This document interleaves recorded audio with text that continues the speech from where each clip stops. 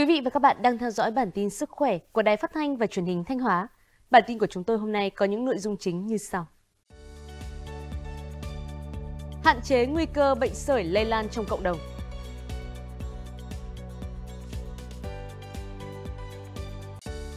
Bốn lưu ý về chế độ ăn của người cao tuổi trong mùa nắng nóng. Hiệu quả mô hình câu lạc bộ những người mắc bệnh mạng tính không lây. Trước hết, mời quý vị và các bạn theo dõi một số thông tin y tế sức khỏe.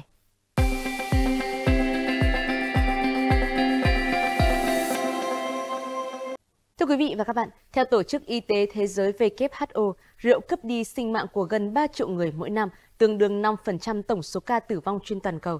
Đây là con số đáng báo động dù tỷ lệ tử vong do rượu đã giảm nhẹ trong những năm gần đây, nhưng vẫn ở mức cao không thể chấp nhận được. Theo báo cáo, rượu là nguyên nhân gây ra gần 1 trên 20 ca tử vong trên toàn cầu mỗi năm. Trong đó có các trường hợp như lái xe khi đã uống rượu, bạo lực và lạm dụng do rượu gây ra hay rối loạn sức khỏe do sử dụng rượu. Theo Tổ chức Y tế Thế giới, uống rượu ảnh hưởng nhiều đến sức khỏe, gây ra các bệnh như sơ gan, ung thư. Bên cạnh đó, việc lạm dụng rượu cũng khiến con người dễ mắc các bệnh truyền nhiễm như bệnh lao, HIV và viêm phổi. Gần đây, tại Nghệ An và một số tỉnh thành khu vực phía Nam ghi nhận sự quay trở lại của bệnh sởi. Để hạn chế nguy cơ sởi lây lan trong cộng đồng và bùng phát trở lại, Cục Y tế Dự phòng Bộ Y tế đề nghị các địa phương cần ra soát lại tình trạng tiêm chủng, đánh giá nguy cơ và tiến hành tiêm bù, tiêm vét vaccine ngay cho trẻ. Cục Y tế Dự phòng yêu cầu hệ thống y tế dự phòng tuyến tỉnh, xã phường và các cơ sở khám điều trị kịp thời giám sát phát hiện ca bệnh và điều trị sớm, cần khoanh vùng khu vực có bệnh nhi bị nhiễm, các cơ sở khám chữa bệnh trong và ngoài công lập thực hiện nghiêm túc phân luồng, cách ly điều trị bệnh truyền nhiễm theo quy định, triển khai các biện pháp phòng chống lây nhiễm chéo hiệu quả. Sởi là một bệnh truyền nhiễm cấp tính do virus gây ra, bệnh lây từ người sang người qua đường hô hấp. Bệnh sởi thường gặp ở trẻ nhỏ, người có miễn dịch kém, dễ dẫn đến biến chứng như viêm phổi, viêm não, viêm tai giữa, tiêu chảy có thể gây tử vong. Bộ Y tế cho biết đái tháo đường tuyếp 1 chiếm 90% bệnh đái tháo đường ở trẻ em. Hiện tại, cả nước có khoảng 2.000 trẻ em được chẩn đoán đái tháo đường tuyếp 1, bệnh có xu hướng gia tăng trong thời gian gần đây. Theo Bộ Y tế, tỷ lệ mắc đái tháo đường ở trẻ em cao hơn liên quan đến yếu tố môi trường như mức độ đô thị hóa, mật độ dân số, tình trạng kinh tế xã hội.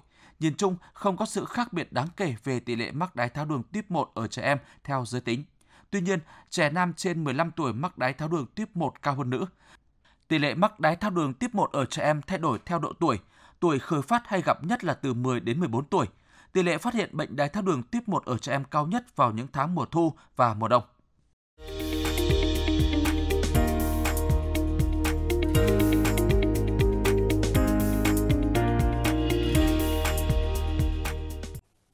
Theo Trung tâm Khám tư vấn dinh dưỡng Viện Dinh dưỡng Quốc gia, thời tiết nắng nóng có ảnh hưởng lớn đến sức khỏe của người cao tuổi, nhất là những người mắc bệnh mãn tính.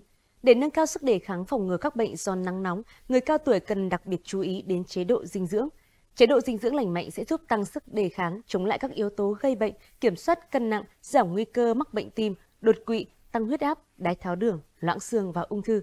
Sau đây là bốn lưu ý về chế độ ăn của người cao tuổi trong mùa nắng nóng.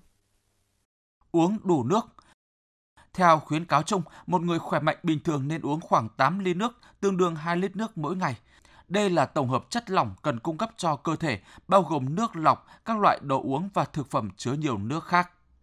Chọn thực phẩm lành mạnh và dễ tiêu hóa. Người cao tuổi thường không ăn nhiều, đặc biệt vào mùa nắng nóng càng không muốn ăn. Vì vậy nên chọn nấu những món ăn giàu dinh dưỡng, thực phẩm nên thái nhỏ, nấu mềm, ít chất béo để giúp dạ dày dễ chịu và dễ tiêu hóa hơn chọn thực phẩm lành mạnh như cá, trái cây và rau quả có hàm lượng nước cao như dưa hấu, dưa chuột, cà chua, dứa, không chỉ giúp bổ sung dinh dưỡng mà còn cung cấp chất xơ ngăn ngừa táo bón. Hạn chế muối, đường. Tránh ăn thức ăn nêm nếm nhiều muối vì sẽ tăng nhu cầu nước nhiều hơn, nhất là những người có bệnh tăng huyết áp. Người cao tuổi mắc đái tháo đường nên tránh dùng đường và thực phẩm chứa đường bổ sung như bánh kẹo, nước ngọt, nước ép trái cây đóng hộp. Không nên ăn quá no, với người cao tuổi nên chia thành nhiều bữa nhỏ trong ngày gồm 3 bữa chính và 2 đến 3 bữa phụ, không nên ăn quá no, nhất là vào bữa tối sẽ gây đầy bụng khó tiêu mất ngủ.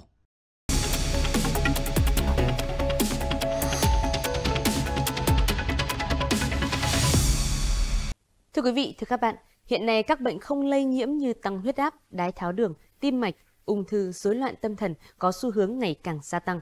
Đây là nguyên nhân hàng đầu gây tử vong cho người bệnh và là gánh nặng về kinh tế. Nhằm nâng cao hiệu quả công tác phòng chống bệnh mãn tính không lây, huyện Quảng Sương đã thành lập câu lạc bộ những người mắc bệnh mãn tính không lây. Qua đó tuyên truyền vận động bà con thực hiện nhiều biện pháp ngăn ngừa và hạn chế các biến chứng về bệnh. Đã nhiều năm sống chung với căn bệnh đái tháo đường, xương khớp và tăng huyết áp, nhưng ông Lữ Trọng Đoàn xã Quảng Ninh huyện Quảng Sương vẫn rất lạc quan với tình trạng sức khỏe của mình. Trước đây, ông gặp khá nhiều khó khăn trong quá trình điều trị các triệu chứng của bệnh. Nhưng từ khi tham gia sinh hoạt câu lạc bộ những người mắc bệnh mãn tính không lây đến nay, ông đã nắm vững hầu hết các kiến thức về bệnh, chế độ ăn và các hoạt động thể chất để có thể kiểm soát được bệnh. Được ờ, cán bộ y tế xã là tư vấn cho cái phương pháp dùng thuốc này, rồi phương pháp luyện tập ờ, thể dục buổi sáng, rồi là thời gian buổi chiều nếu có điều kiện thì có thể là tập thêm thì thấy cũng có cái bổ ích. Các cái à, hội viên trong câu lạc bộ cũng đã từng gặp gỡ rồi trao đổi về từ cái à, sự chỉ đạo của cái ban chấp hành câu lạc bộ đấy. Thì là cũng tuyên truyền rồi là truyền đạt cái tinh thần là luyện tập, rồi là ăn uống đến từng hội viên. Nói chung là thấy là cũng, bước đầu nhưng thấy là cũng rất tốt. Trước đây thì bệnh nhân là, khi mà mắc bệnh thì bệnh nhân là có bệnh nhân thì đến trạm, có bệnh nhân thì tự đi viện hoặc tự mua thuốc. Nhưng khi thành lập được câu lạc bộ thì bệnh nhân hầu như là đến tại trạm y tế để khám và được ừ, tư vấn tuyên truyền và được cấp phát thuốc tại trạm y tế. Còn nếu mà trường hợp mà nặng không đáp ứng thuốc tốt thì lại cán bộ y tế sẽ chuyển bệnh nhân lên tuyến trên ạ. Mô hình câu lạc bộ những người mắc bệnh mãn tính không lây đầu tiên tại huyện Quảng Sương được ra mắt tại xã Quảng Lưu vào tháng 3 năm 2023 với hơn 80 thành viên. Đến nay, mô hình này đang được nhân rộng đến một số xã trên địa bàn huyện, thu hút hàng trăm thành viên tham gia. Câu lạc bộ tập hợp những người có nhu cầu tư vấn, chăm sóc sức khỏe và những người mắc bệnh mãn tính không lây tự nguyện tham gia. Câu lạc bộ sinh hoạt mỗi tháng một lần tại trạm y tế xã. Tại các buổi sinh hoạt, các thành viên không chỉ được nhân viên y tế truyền đạt các kiến thức, phương pháp mới của bệnh không lây nhiễm, yếu tố nguy cơ của bệnh, hướng dẫn một số cách thức thực hiện tại nhà, mà còn được trao đổi, chia sẻ kinh nghiệm về việc luyện tập, ăn uống nhằm giữ bệnh ổn định, tránh nguy cơ tai biến. Mô hình câu lạc bộ những người mắc bệnh mãn tính không lây là có giúp ích nhất là cho cái thành viên cũng như là tuyên truyền cho nhân dân về cái ý thức là thường xuyên được ờ, thăm khám kiểm tra định kỳ về sức khỏe. Có một sức khỏe tốt thì như vậy là sẽ giúp cho cái thúc đẩy phát triển kinh tế cái địa phương. Thì đó là một cái những hoạt động tốt của cái câu lạc bộ. Cái thứ hai là muốn là thông qua đây cũng phát huy được cái, cái y tế dự phòng cơ sở sau khi mà ờ, có cái câu lạc bộ ra đời thì cái hiệu quả ban đầu là chúng tôi nhận thấy là cái tỷ lệ ờ, các cái cụ mà mắc cái bệnh mãn tính này chuyển viện là nó có giảm đi. Và chúng tôi trực tiếp là qua cái kênh của trạm y tế chúng tôi cấp phát thuốc và tư vấn cho bệnh nhân. Thì cái tỷ lệ bệnh nhân là là vượt tuyến là nó giảm đi rất rõ rệt.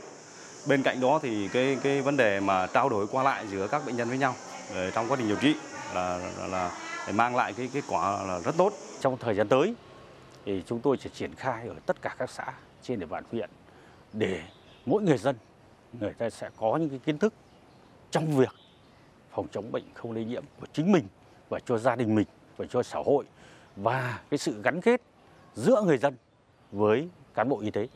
Họ được cái, hàng ngày là được đo huyết áp hoặc là ờ, xét nghiệm tiểu đường miễn phí tại các ờ, trạm y tế và người dân, người ta đi đến lúc nào cũng được cán bộ y tế chăm sóc. Đấy là một cái ưu điểm của câu lạc bộ này.